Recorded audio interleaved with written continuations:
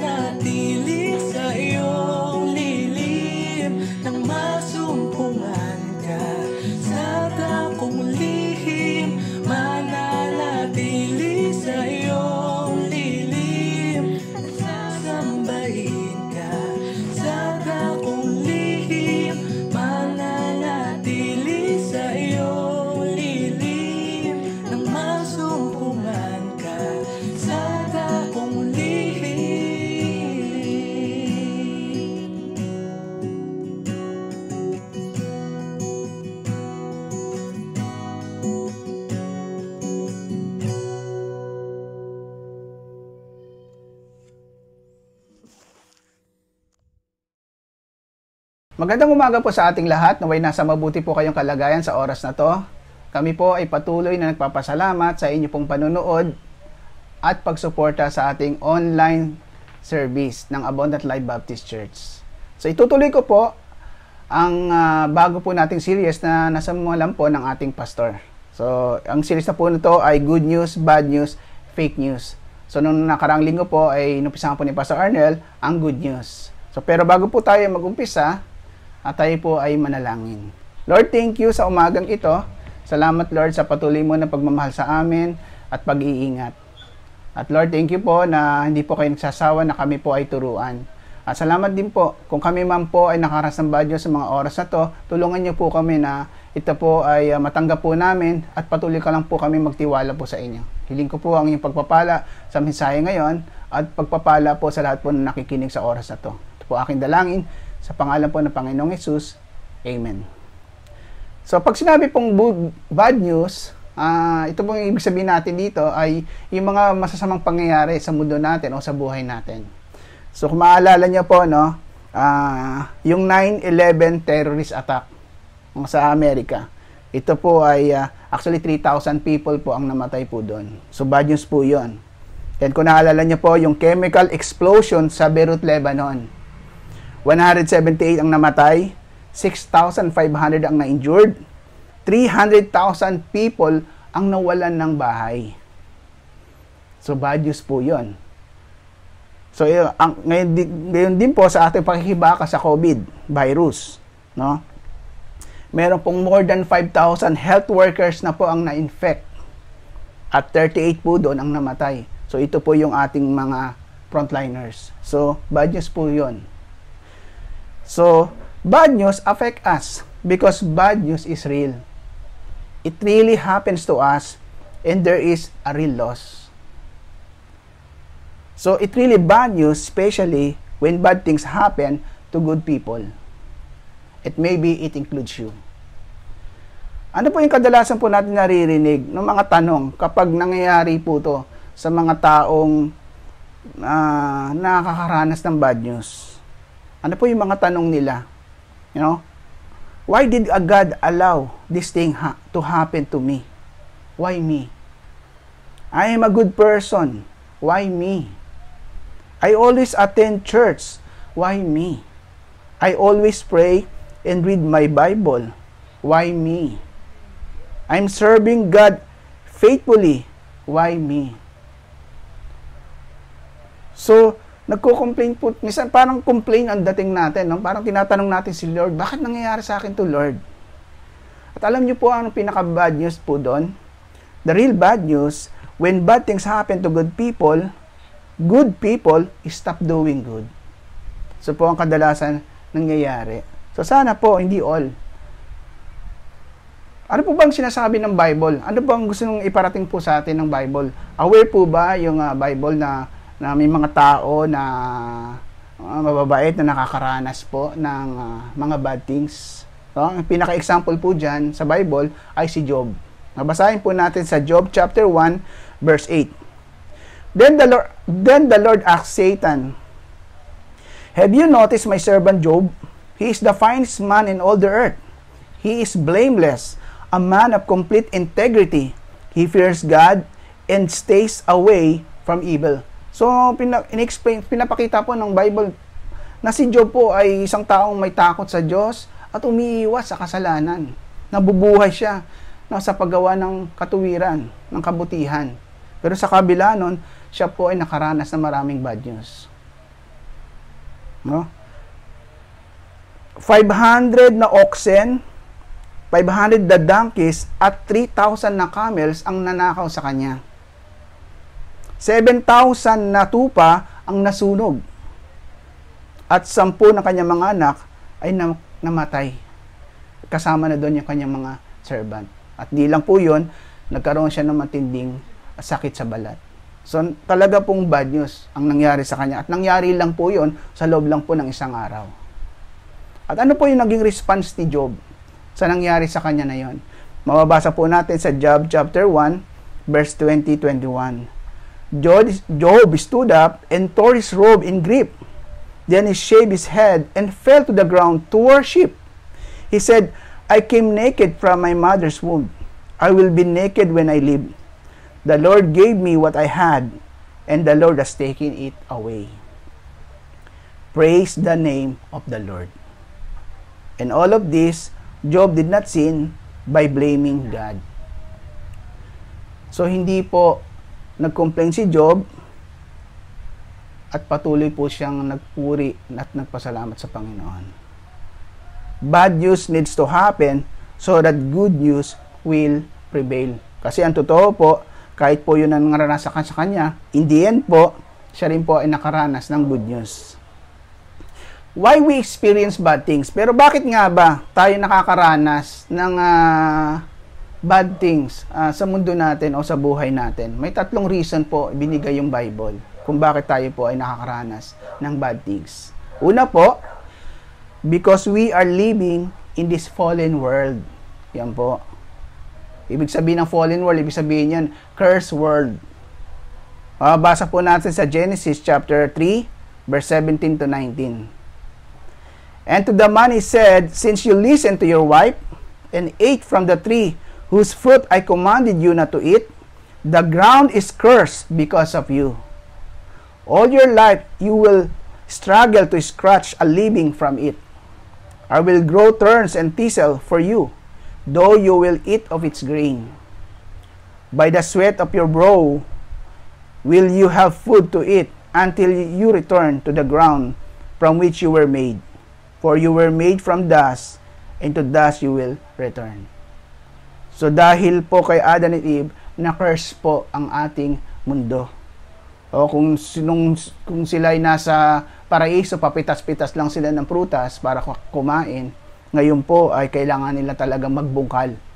At sabi po nga dyan is, ah, yung mga halaman ay magkakaroon ng mga tinik at yung mga dahon. At kailangan talagang ah, magpawis o mapagod. Parang curse, yung pagtatrabaho ay parang curse na sa kanila. So ganun po ang nangyari. Na-curse po ang ating mundo. Kaya po yung mga national disasters, bahagi po yan ng curse o fallen world. Oh, bakit may earthquakes, bakit may mga tsunami, bakit may storm, o mga volcanic eruptions.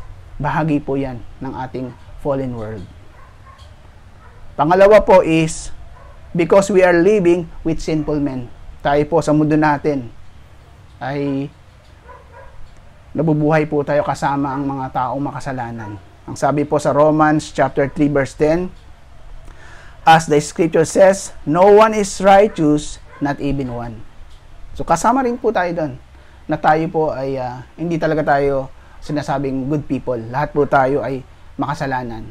But of course, may mga tao po na nagdidesisyon na gumawa ng kabutihan. Oh. Pero may mga tao na nabubuhay sa paggawa ng kasamaan. Kaya po, kaya po tayo nagkakaroon ng bad news. Pangatlo po is because we have sovereign God. God is in control. No, alam ni God, no? Bakit po tayo nagkaroon ng bad news? Because God allows it to happen. Hindi nga natin talaga alam kung bakit niya ginawa yon. Pero He allowed it kasi pwede niya talagang kontrolin. Pwede niya kontrolin yung mga national disasters, ay natural disasters. Pwede niya kontrolin yung mga taong masasama na gumagawa ng masasama. Pwede niya kontrolin lahat ng pangyayari para hindi natin maranasan ng bad things. Pero, naranasan natin because God it allow it. God allowed it. And He is in control. Uh, makikita po natin sa Job chapter 1 verse 8 to 12. Then the Lord asked Satan, Have you noticed my servant Job? He is the finest man in all the earth. He is blameless, a man of complete integrity. He fears God and st- stays away from evil. Satan replied to the Lord, Yes, but Job has a good reason to fear God. You have always put a wall of protection around him and his home and his property. You have made him prosper in everything he does. Look how rich he is. But reach out and take away everything he has, and he will surely curse you to your face. All right, you may test him, the Lord said to Satan. Do whatever you want him, everything he possesses, but don't harm him physically. So Satan left the Lord's presence. So may kita po natin, hindi mangyayari kay Job yon kung hindi a-allow ni God si Satan na talagang gawin yan. Pero inalaw ng Diyos. Makikita po natin sa, mababasa rin po natin sa John chapter 16 verse 33. Sabi po doon, sabi po ng Panginoong Yesus, I have told you all this so that you may have peace in me. Here on earth, you will have many trials and sorrows, but take heart because I have overcome the world. So, hindi man ni Lord na pinigilan yung mga pangyayari o hindi pang instantly inalis ni Lord, no? Inalis ni God yung mga bad things, no? Sabi nga ni Lord, aware siya na may bad things talaga. Sabi niya, here on earth you will have many trials o here on earth you will have bad things. But take heart because I have overcome the world. So, kontrolado ko at tatapusin ko o tutuldakan ko yung bad things. Bad news needs to happen so that good news will prevail. So may papakita po kasi doon kung paano ng Diyos susolusyonan yung bad things sa buhay natin. Sabi po sa 2 Corinthians chapter 4 verse 16 hanggang 18, sabi po ni Paul, That is why we never give up. Though our bodies are dying, our spirit are being renewed every day. For our present troubles are small and what what lasts very long. Yet they produce for us a glory that vastly overweights them and will last forever. So we don't look at these troubles we can see now, rather we fix our gaze on things that cannot be seen. For the things we see now will soon be gone, but the things we cannot see will last forever. Yan. So matatapos ang bad things at magpapatuloy ang good things. Yan po ang plano ng Panginoon.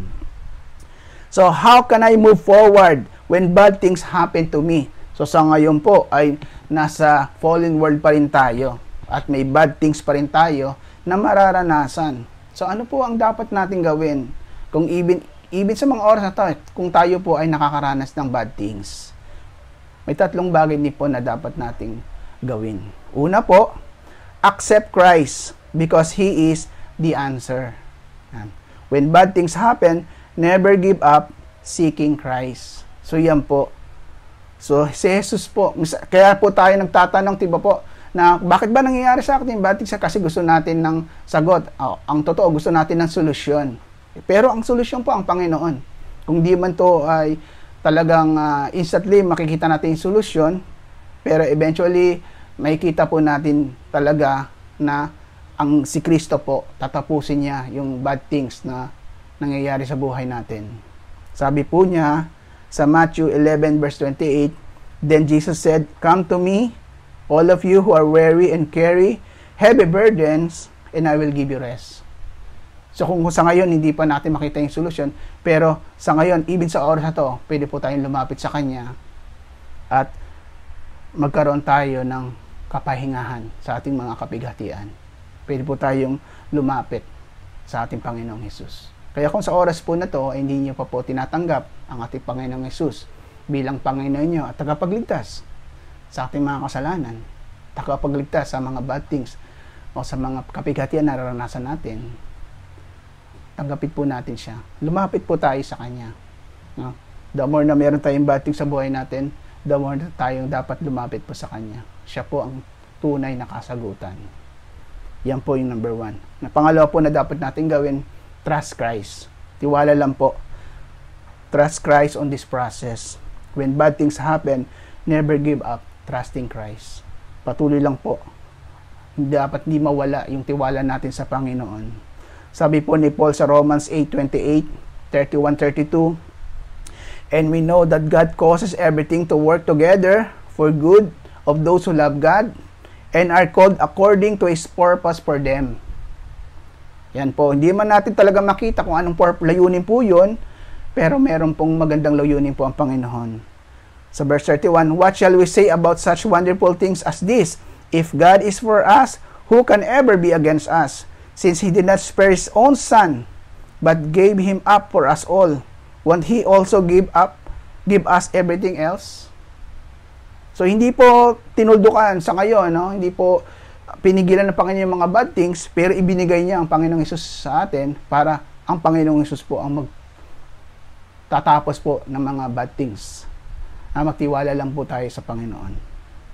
At pangatlo po, obey Christ. Patuloy lang po natin siyang sundin. No?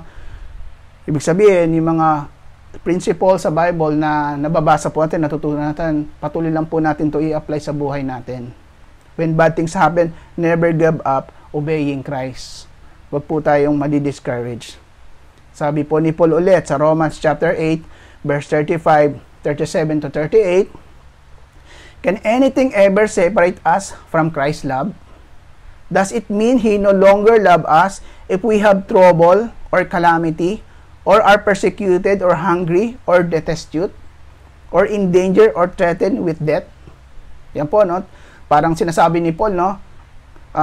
I- iisipin po ba natin dahil nakakaranas tayo ng bad things ay hindi na po tayo mahal ng Panginoon? Kasi ang totoo, si Paul po, ka, diba?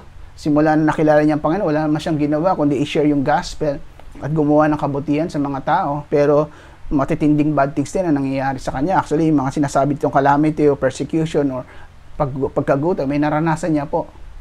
Pero hindi niya inisip na dahil nangyari sa kanya, hindi, ma- hindi na siya mahal ng Panginoon. Actually, patuloy siyang naniniwala na siya ay mahal ng Panginoon.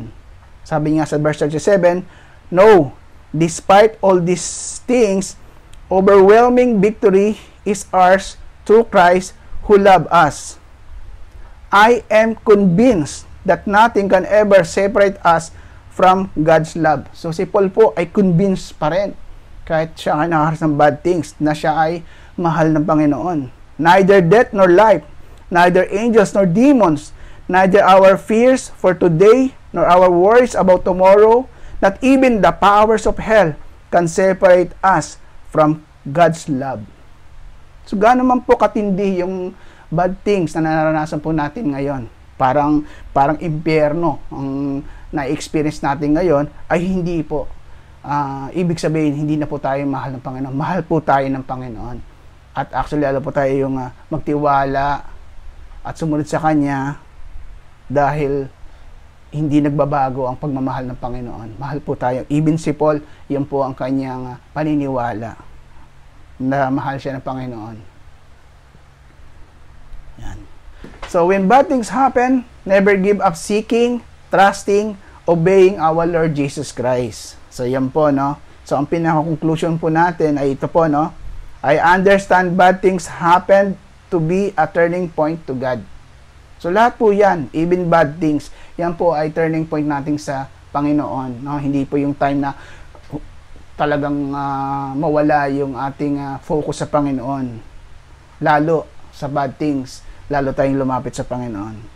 I understand bad things happen for me to trust God. Yan, lalo po tayo magtiwala sa Panginoon. I understand bad things happen for me to obey God. So, wag po tayo magsawa. Ah, patuloy lang po natin sundin ang ating Panginoon. When bad things happen, never stop doing good things. So, salamat po sa inyong pakikinig. Naway na bless po kayo. So, yeah, encourage ko po kayo na i-like nyo, i-share nyo po at mag-subscribe po kayo sa ating YouTube channels. Salamat po, tayo po yung manalangin. Lord, thank you po sa oras na to. Salamat po, naniniwala po kami, ikaw po ang aming sovereign God na kon- that is control that is in control of everything na nangyayari sa buhay namin. So Lord, even sa oras na to, I pray kung kami man po ay nakakaranas ng bad things, I pray hindi po maliw mag, di po kami magsawa na magtiwala po sa inyo at sundin po kayo.